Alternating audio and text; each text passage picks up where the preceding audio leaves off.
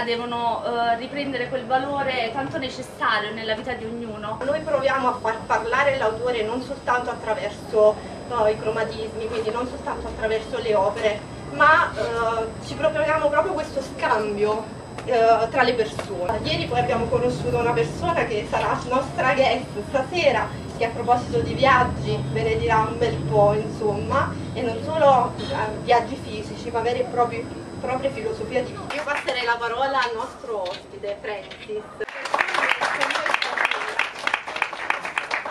Mi occupo di emozioni da una vita.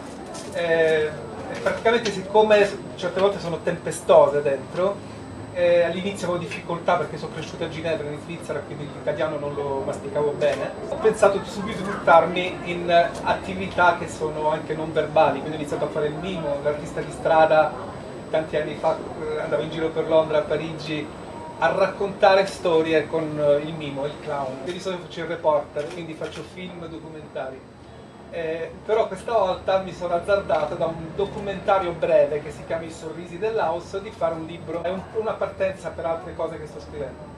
Licia è stata meravigliosa e poi l'associazione che ha aperto il cuore, cioè ieri ci siamo visti, abbiamo parlato insieme, ci siamo trovati veramente in famiglia. Quindi grazie, veramente grazie, per l'ospitalità che è importante. Allora, solo una cosa in quello che sta, sta per succedere, di regalarvi un po' di emozioni, fare sì che quando uscite da questa porta tornerete ricchi a casa. Il mio lavoro è più che fare arte, è credere nel cambiamento. Quindi praticamente sono assolutamente convinto che possiamo rendere il mondo migliore se lo vogliamo, senza fare tante cose, anche semplicemente col pensiero. Wow.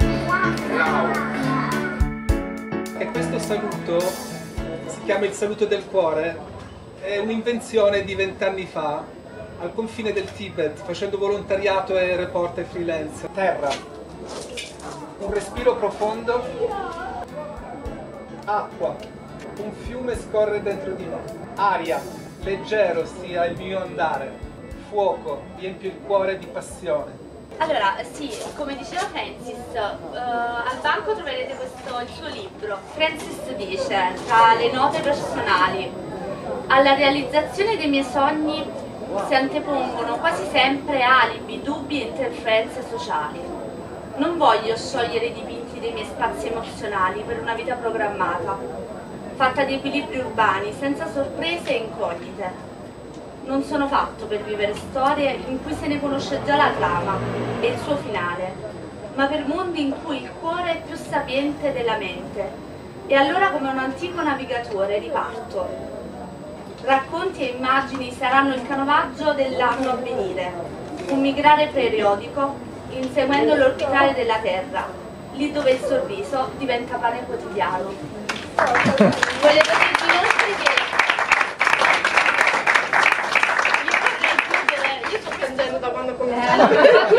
a proposito di elementi, ho pianto tutto il tempo, ho detto non ce la facevo, tutto quello che mi sta succedendo. Comunque la, la cosa più bella è che nella società in cui viviamo, dove siamo tutti freddi e programmati, io non riesco a parlare.